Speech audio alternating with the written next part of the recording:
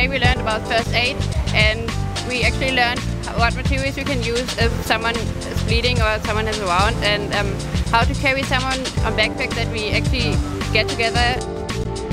We went through the equipment that is needed in a first aid kit and some procedures that you take when um, you're dealing with people but it, as Hayden said it was the first aid so you don't do the full medical like a professional doctor.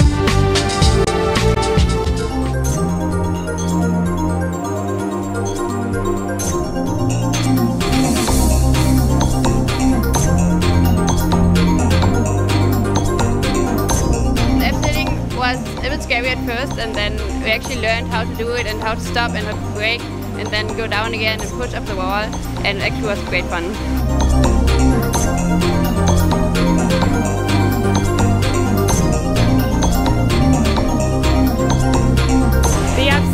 Really fun because I, well, I've never done it before but um, I really enjoyed like just free falling but I know you're on a harness but it felt really fun.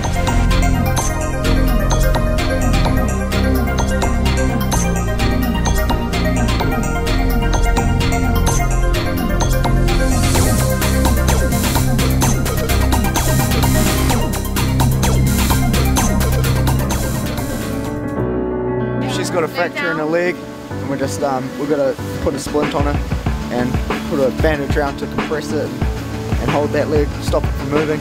So now we're gonna put her on a stretcher and, and evacuate her out of here.